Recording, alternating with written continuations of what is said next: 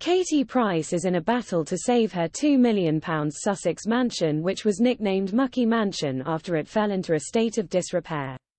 The 45-year-old was due to appear at an insolvency court in London next month, but her case has now been adjourned until the end of April, reports The Sun. The home in question was featured on her Channel 4 renovation show Katie Price's Mucky Mansion which first aired in January 2022. During the show, Katie had been transforming her 19-room home back to its former glory after the property was given the nickname due to it being neglected for several years.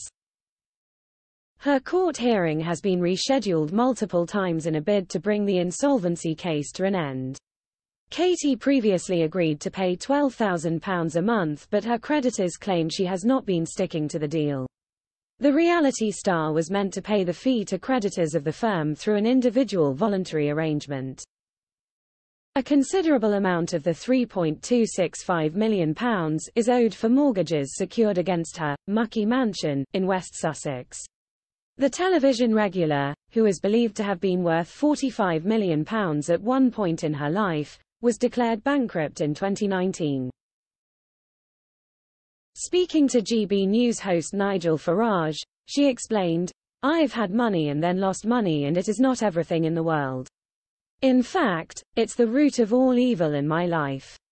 You know, I've had to pay this person, that person, then that person.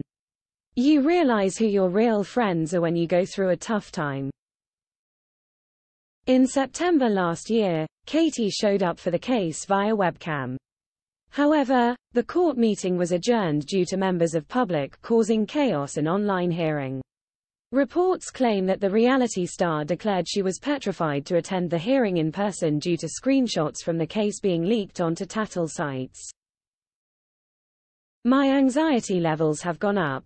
There are people on here who should NT be on here, she reportedly said of attendees in the remote hearing. I'm just protecting you guys as well as myself.